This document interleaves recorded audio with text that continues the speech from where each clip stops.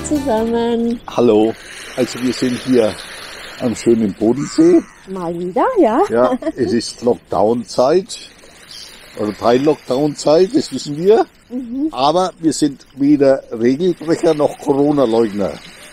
ja. Also bevor jetzt halt irgendwie wieder böse Kommentare kommen, äh, wir sind hier ganz regelkonform und wir sind nämlich geschäftlich unterwegs. Regt euch nicht auf, es sind ein offizieller Termin. Ja? ja. Nach dem Intro erklären wir wie.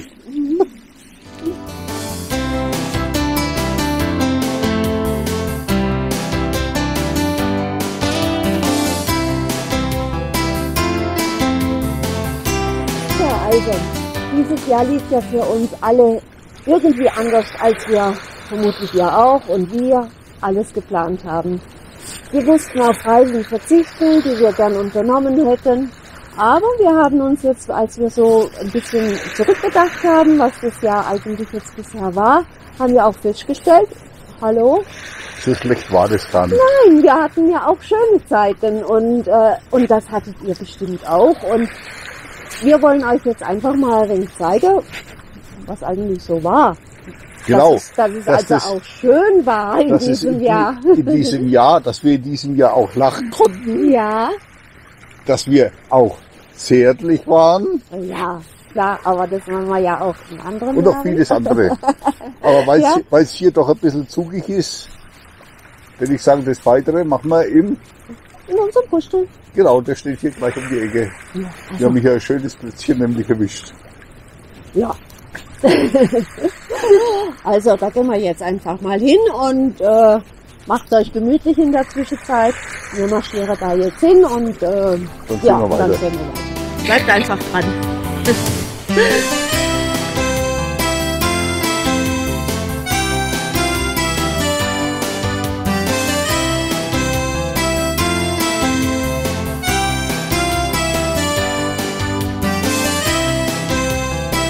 So, also, jetzt sind wir wieder da und jetzt haben wir noch schnell einen Tee gemacht, weil es ist schon ganz schön kalt da draußen, oder? Jawohl. Ja, und ähm, wie wir ja jetzt vorhin schon gesagt haben, wir sind geschäftlich unterwegs und natürlich habe ich an alles gedacht, nur nicht an Weihnachtsschmuck. Können wir sagen, dass wir einen Gerichtstermin haben? Brauchen wir nicht unbedingt, aber haben wir jetzt einen halt einfach. Aber wenn, wenn ihr jetzt denkt, dass ich der Verklagte bin, dann irrt ihr euch, ja? Nein, äh, äh, jetzt übertreibe ich, gell? Also, es ist alles, wie gesagt, geschäftlich.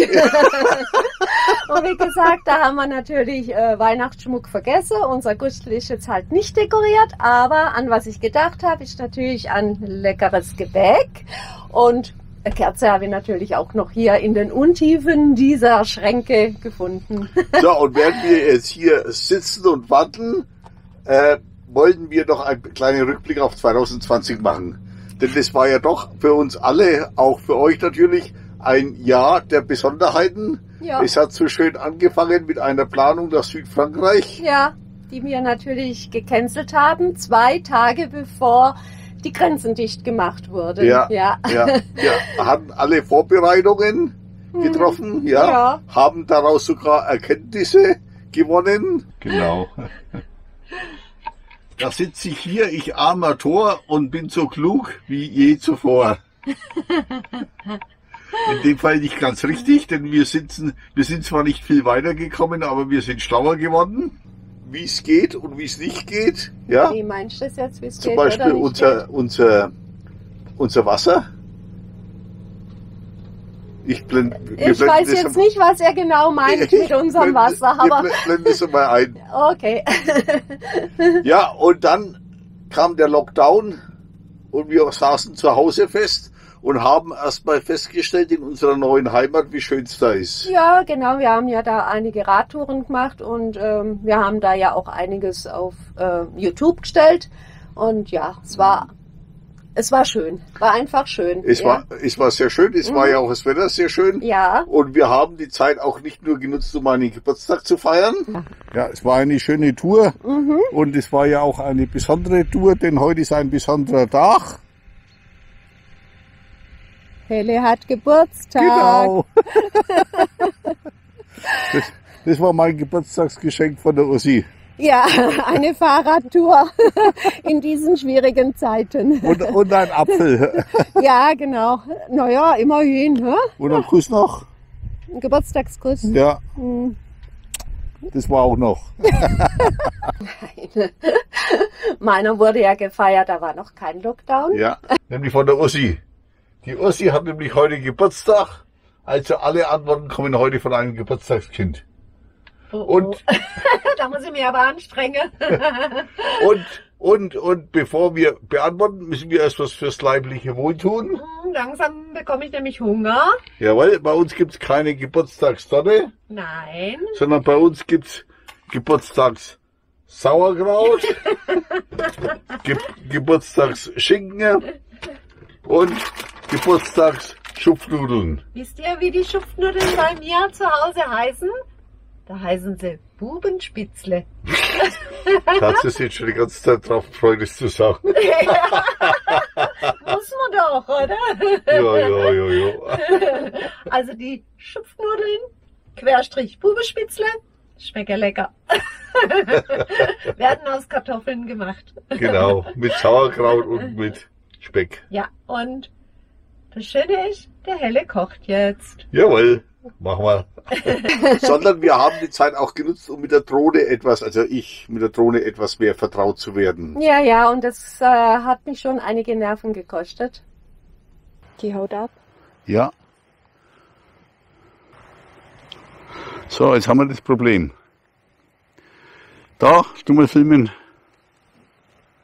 Und die Drohne ist in der Luft. Aber sie reagiert wenigstens noch. Ja, sie reagiert noch. Aber sie lässt sich nicht mehr lenken. Und So. du wieder herholen? Nein, Und was heißt das jetzt?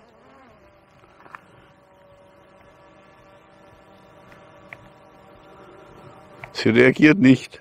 Und jetzt? Müssen wir warten, bis der Akku leer ist und Nee, ich weiß es nicht.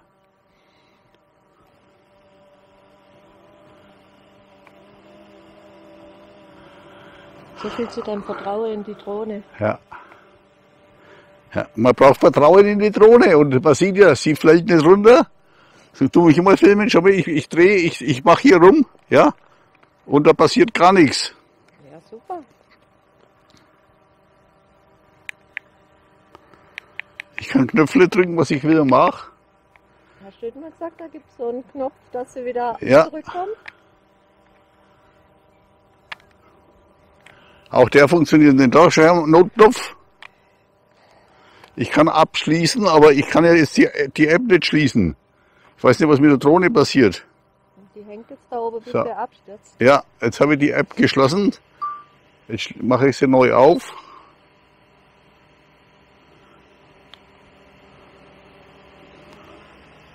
Jetzt kommt sie her. So.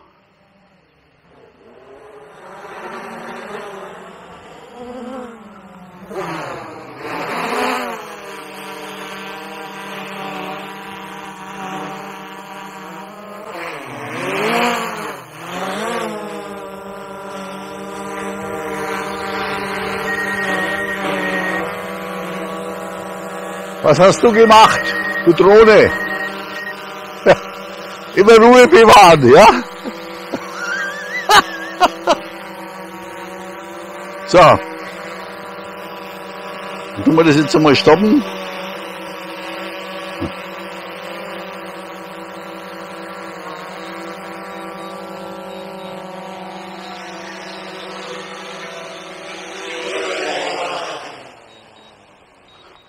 Mit zittrigen Händen habe ich sie wieder runtergebracht. Aber da ist das gute Stück. Und die Ussi ist auch ruhig geblieben. Wenn ihr hören könnt, wie meine Nerven flattern. Ja, da blendet Szene ein. Ja.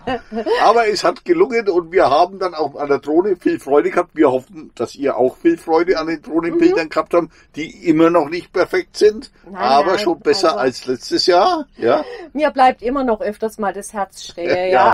ja. Jetzt zeigen wir euch noch ein paar Bilder. Mhm. Ich schaue mal, ob es mir gelingt, die Drohne noch ein wenig hochzukriegen. Ja, ich bin da die ah, es ist ein bisschen eng und da stehen so viele ja. Bäume herum, der, also der, Bäume, Stämme. Fällt schon wieder das Herz in den Schoß, ja.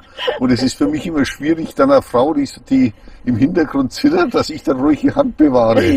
ich gehe am besten auf die andere Seite. Also schaut euch die Bilder an, die Drohne steigt. Na, mein Vater. Okay, also. Und ich bin auch froh, dass ich manchmal die Ossi habe, ja. Den Gradetzler über den See, also da, äh, gab es eine heikle Situation, wo sie dann geschrien hat und ich dann gerettet wurde oder die Drohne die gerettet Tränen, wurde. Die Drohne, ja. Also wenn das Wasser immer näher kommt und ich also denke, na nun. Ganz so ohne ist es nicht mit der Drohne. Und er kann es auch noch nicht so richtig. ich bin aber schon sehr gut, ja. Aber ich glaube, wir können auch sagen, dass du ja dran bist. Äh, wie nennt sich das? Den Drohnenführerschein werde ich machen, mhm. weil es kommt ja die neue Drohnenverordnung, da werden wir noch mehr dazu informieren. Und ich habe auch vor, natürlich diesen Drohnenausbildung zu machen, wobei die Rechtslage da noch nicht ganz klar ist. Ja, und es bietet ja, glaube ich, auch noch niemand richtig was an, sondern ja. das geht noch, aber man, äh, wir sind dran. Ja, also das ist jetzt der Ausblick für 2021 gewesen. Ja, genau, aber wir machen ja jetzt eigentlich mehr einen Rückblick. Einen Rückblick, ja. ja, so ganz koordiniert geht es ja bei uns nicht immer zu. Ja, das habt ihr ja selber schon öfters miterlebt. Somit kann man da ein bisschen abschweifen. auf, auf jeden Fall, wir können sagen, für uns war 2020 zwar ein Jahr, wo vieles anders war, wo vieles nicht schön war, aber es war kein verlorenes Jahr. Das dürfen wir auf Nein, keinen Fall sagen. Und äh, wie ich ja vorhin ja schon erwähnt habe, wenn ihr so zurückdenkt in, auf das vergangene Jahr, da fallen euch bestimmt auch äh, irgendwelche Szenen und Momente ein, die wirklich gelungen waren. Oder ja, die einem auch Freude bereitet ah, ja, haben. Natürlich. Es war nicht alles nur negativ in diesem Jahr. Ja, aufgeregt haben wir uns auch wieder. Auch so. Ziehst mir die Schuhe aus. Ja, was wir natürlich auch gehabt haben, das waren wieder diese Hater, die ja heute schon allgemein im Internet äh, verbreitet sind, mhm. die anonym dann äh, äh, ihren Frust, ihren Lebensfrust loslassen. Auch damit sind wir geplagt, wie so viele andere ja. YouTuber mhm. oder Leute, die sich in der Öffentlichkeit bewegen, ja. Und Aber ich denke, damit können wir jetzt umgehen. Das ja. äh, haben wir gelernt ja. und das ist halt einfach so. Über den Bodensatz der Gesellschaft haben wir uns sozusagen auch genervt geäußert. Ja. Mit blende ja. mal die Zähne dazu ein. Ja, genau. Und ich esse in der Zwischenzeit ein Womo. Wen das stört, wer das nicht haben will, Schaut's doch einfach nicht an. Ja, es gibt ein Abo. Deabonniert uns doch einfach. Ja, genau. Ihr, ihr Nervensägen. Ja, das, ja das, ich sag, aber, aber nein, da müssen Sie es. Ich glaube, jetzt ist okay. Jetzt gehen wir zum nächsten Thema. Ihr merkt, der Helle regt sich tierisch darüber ja, auf. Mich, mich, mich nerven diese, die, diese missgünstigen Leute, ja, die einfach nur ihren Frust loswerden mhm. wollen, ja. Das nervt einfach tierisch. Aber das war eigentlich nur am Rande. Viel schöner waren die sehr positiven Begegnungen, die netten Begegnungen, die wir gehabt haben. Vor allen Dingen dann, als der Lockdown, der erste Lockdown gelöst wurde, mit äh, Freunden, dass wir uns getroffen mhm, haben. Mhm, das, äh, wir haben uns zwar im vergangenen Jahr nicht mit so vielen äh, treffen können, aus gegebenem Anlass, aber doch so. Mit dem einen oder anderen. Anderen haben uns getroffen und wir haben ja auch äh, auf Stellplätzen oder auch so äh, für viele von euch äh, getroffen und ja. kennenlernen können. Das war natürlich auch sehr schön. Ja, mhm. wir haben äh, das Jahr hatte begonnen mit der CMD. Da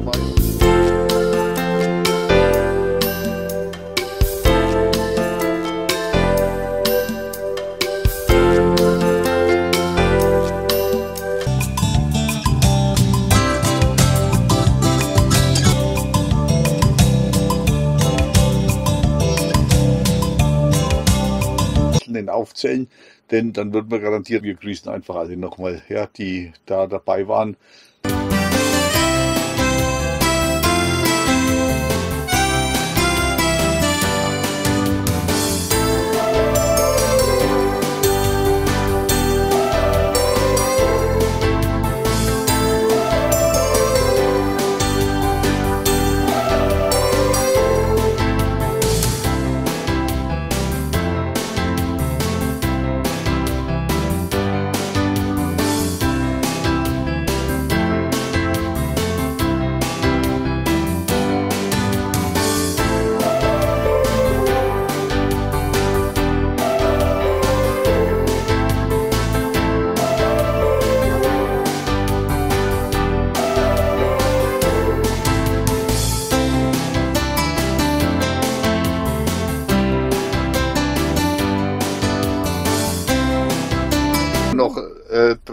En masse, ja. Mhm.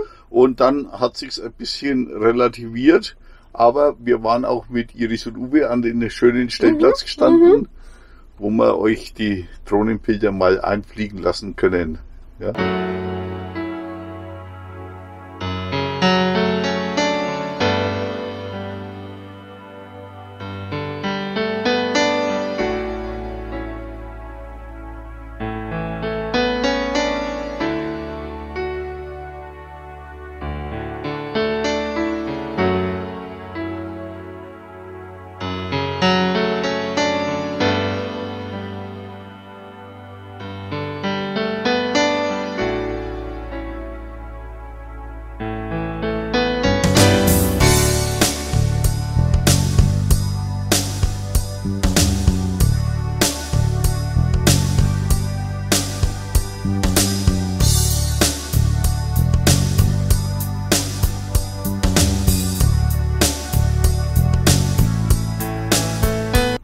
Drohne überhaupt hat uns viel Freude gemacht. Also auch wenn sie sehr aufregend war, ja, ist sie ja heute immer noch. Habe ich heute das wieder erlebt. Äh, aber es, wir haben auch ein paar schöne Bilder eingefangen und es, wir hoffen, dass euch, ihr euch da auch dran erfreuen konntet. Ja, und jetzt haben wir meinen, fast, meinen Keks schon fast gegessen und wir haben noch nichts eingeblendet. Das machen wir jetzt, damit ich hier in Ruhe nämlich weiter essen kann. Ja.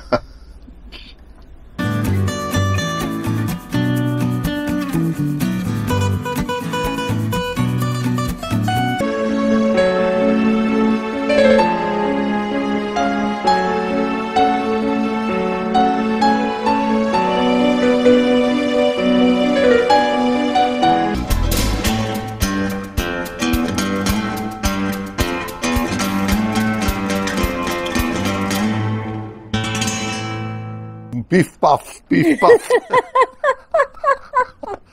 Schöne Geschichte. Ich liebe solche Geschichten.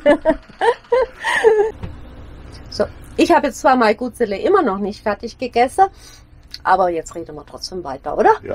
Gegessen haben wir auch gut, ja. Ich- Und mit ein bisschen Weißwein verfeinern. Halten wir uns auch gerne an die Regeln, dass man nur guten Wein dafür verwendet. Und ob der gut ist, das müssen wir, bevor man zum Essen verkochen, erstmal ausprobieren. Gell, Ossi? Ja, also zum Wohl. Zum Wohl.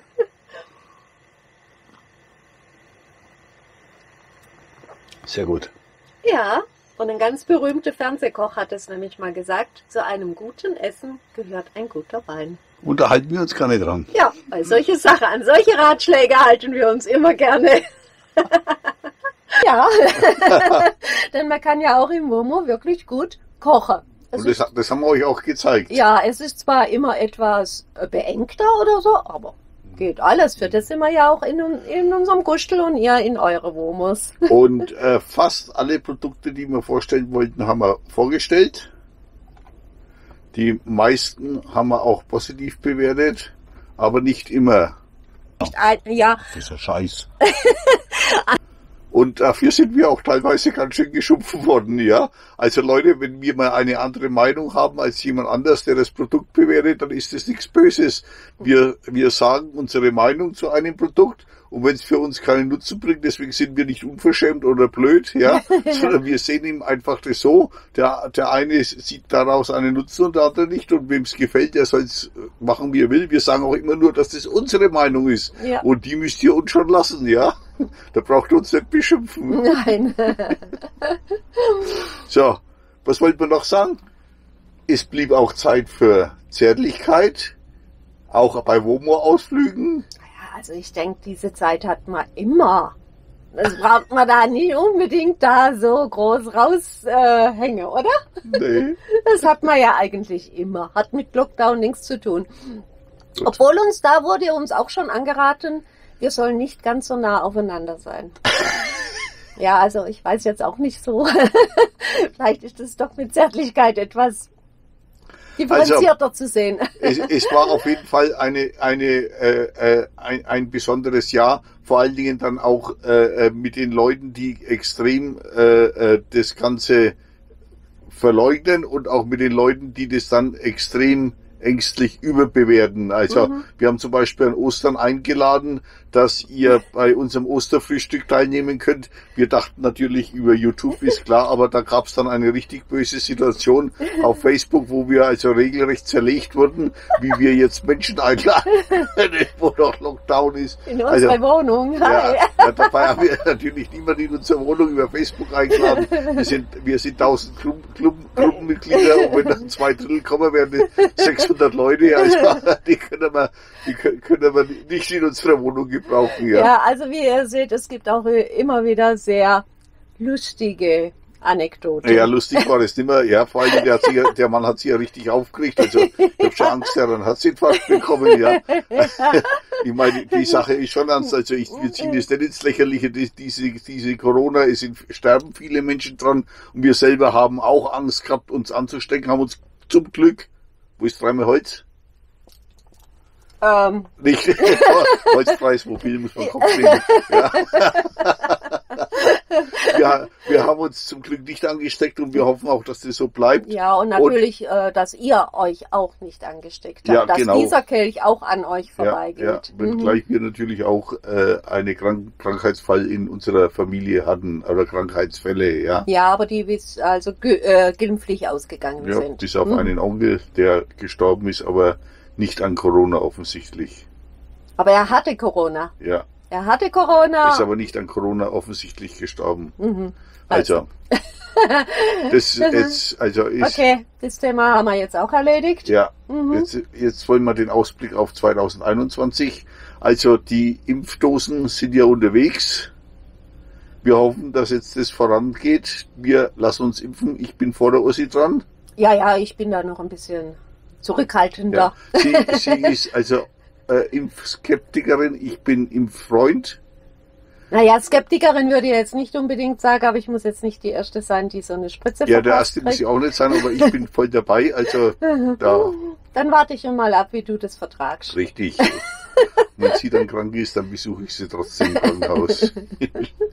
Nein, im Ganz, also Mhm. äh, Nein, Ja. aber wir äh, gehen jetzt davon aus, dass diese Pandemie langsam in den Griff kommt, zumal eben, wenn es einen Impfstoff gibt, dass es dann ja auch alles dann wieder rückläufig ist. Das wird zwar schon noch seine Zeit dauern, bis alles wieder in normalen Bahnen ist, aber wir hoffen und gehen eigentlich auch davon aus, dass es nächstes Jahr leichter wird. Ja, wir haben ja dieses Jahr trotzdem eine kleine Auslandsreise gemacht. Wir haben mal nach Italien reingeschaut und waren mal in der Schweiz.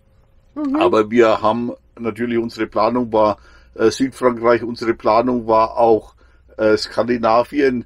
Äh, wir täten gerne nächstes Jahr hier in der Richtung etwas mehr aktiv sein, vor allen Dingen, wo wir uns geschäftlich immer weiter auf dem Rückzug befinden und damit auch natürlich mehr Zeit haben für längere Reisen. Also wir hoffen, dass wir euch 2021 ein bisschen Reisen im Ausland zeigen können. Ja, und ansonsten, Deutschland ist ja, wie Ja. ihr ja gesehen habt, wunderschön. Also, und ihr seid ja auch selber viel in Deutschland dieses Jahr unterwegs gewesen und das könnt ihr also bestimmt zustimmen. Es ist sehr schön.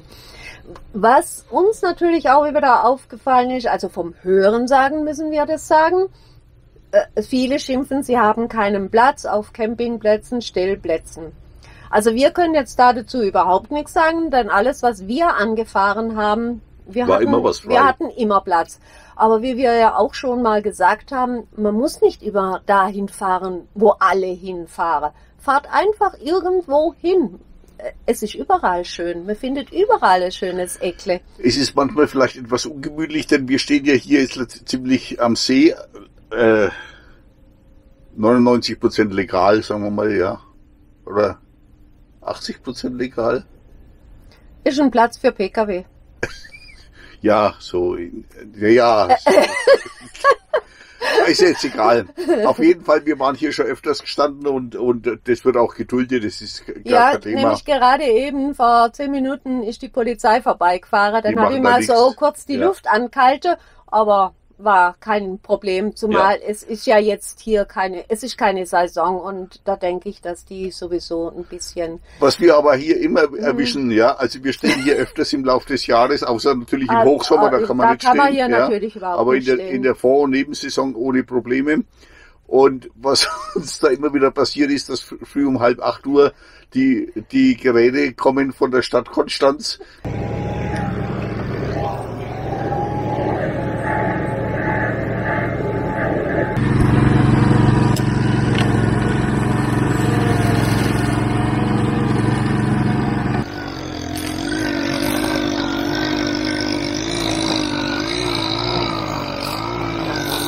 die wahrscheinlich nur drauf lauert, bis wir da stehen und dann hier die Reinigungs- und Pflasterarbeiten durchführt. Ja, Das, also das war nämlich heute ist- schon wieder ganz extrem hier. Es ist so still hier und man hört ja eigentlich gar nichts, ja. Und plötzlich fangen die von der Stadt an mit ihrer Laubbläser, da, da juckt man fast aus dem Bett raus, ja. Also, auch wenn ihr jetzt im Hintergrund irgendwie was hört oder ja, vielleicht hier gerade gesehen habt, ja, die sind immer noch am Schaffen hier.